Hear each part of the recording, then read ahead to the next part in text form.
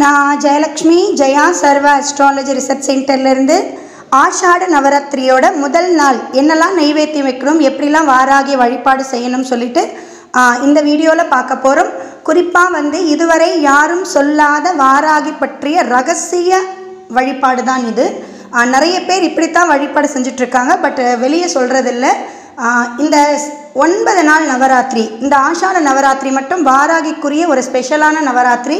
So Varahi நம்ம எப்படி வழிபாடு செய்யணும்னா ஆஸ் யூஷுவல் நம்ம மழை ஏற்கனவே பண்ணுற அந்த புரட்டாசி மாதத்தில் வரக்கூடிய நவராத்திரி மாதிரி கிடையாது. சப்த மாதாக்களில் ஒரு தாய் தான் நம்மளோட வாராகி.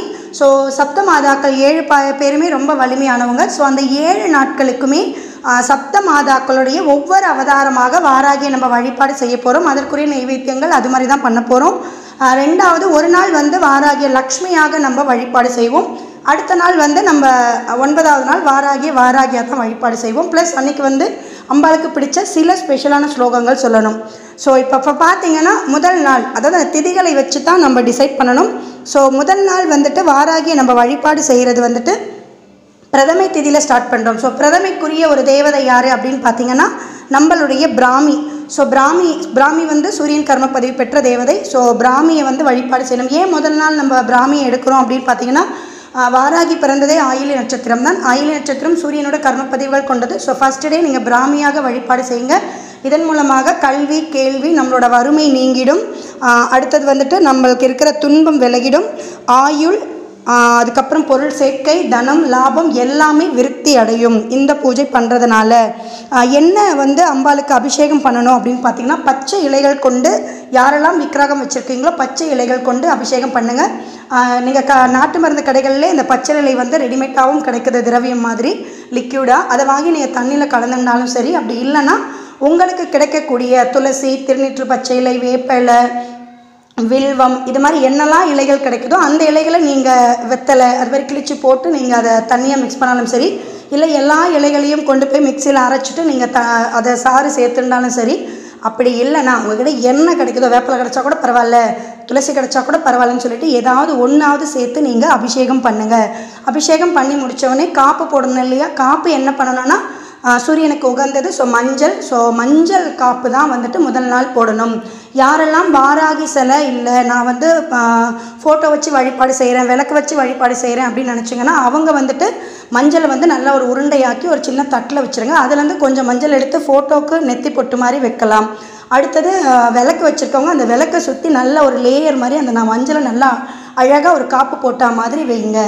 ஸோ அடுத்தது அந்த மீதி இருக்க மஞ்சளை வந்து நீங்கள் அடுத்தவங்களுக்கு கொடுக்கலாம். தாராளமாக கொடுக்கலாம். குரு நல்ல இடத்துல இருக்கு. நான் மஞ்சள் கொடுத்தா எனக்கு அதிர்ஷ்டம் போயிடும். அப்படிலாம் கிடையாது. இது வாராகியோடைய பிரசாதம். தாராளமாக நீங்கள் அடுத்தவங்களுக்கு கொடுக்கலாம். இது உங்களுக்கு பாசிட்டிவ் தான்.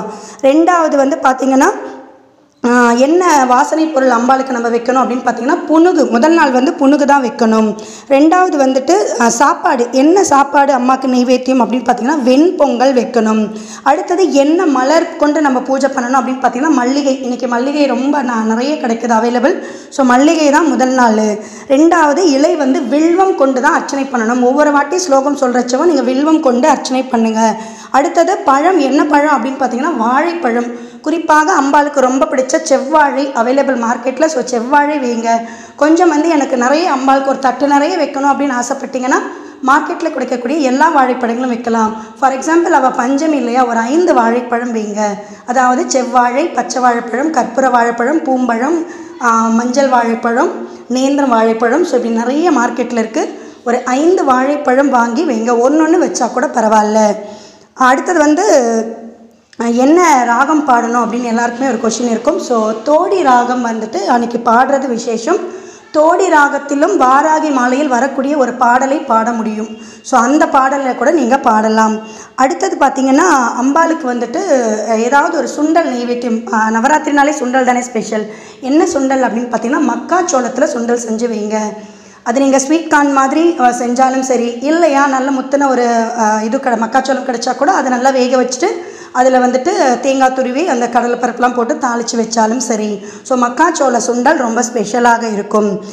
இவ்வளோதாங்க ஸோ இதெல்லாம் வந்துட்டு யாரெல்லாம் என்ன கிடைக்குதோ நான் சொல்லியிருக்க எல்லா பொருட்களும் யூஸ் பண்ணி அம்பால வழிபாடு செய்யுங்க. சப்போஸ் வந்துட்டு இல்லைங்க இதெல்லாம் மார்க்கெட்டில் இல்லை எனக்கு அவசரம் டைம் இல்லை அப்படின்னு நினைக்கிறவங்க வெறும் வெண்பொங்கல் செஞ்சு கூட நீங்கள் தாராளமாக வழிபாடு செய்யலாம். குறிப் முக்கியமான விஷயம் வெண்பொங்கலில் வந்து நீங்கள் இஞ்சி பூண்டு எல்லாமே சேர்த்துக்கலாங்க. அவங்க உங்களோட டேஸ்ட்டை பொறுத்து தான் ஏன்னா வாராகி வந்து அசைவ தெய்வம் சொல்லக்கூடிய ஒரே காரணம் வாராகியோட எல்லா நெய்வேத்தியத்திலும் கட்டாயமாக இந்த பூண்டு வெங்காயம் சேர்க்கணும். ஏன்னா இந்த பூண்டு வெங்காயம் சேர்க்கறதால தான் அவள் வந்து அசைவ தெய்வம். இது தெரியாமல் அவளுக்கு வந்து மாமிசம் தரணுமா அது தரணுமான கட்டாயமாக கிடையாது.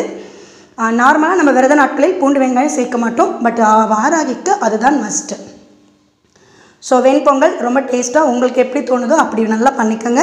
ஸோ அம்பாலை பொறுத்தளவுக்கு முக்கியமான விஷயம் காயத்ரி ஸ்லோகம் நிச்சயமாக சொல்லுங்கள் நல்ல பலன் கிடைக்கும்.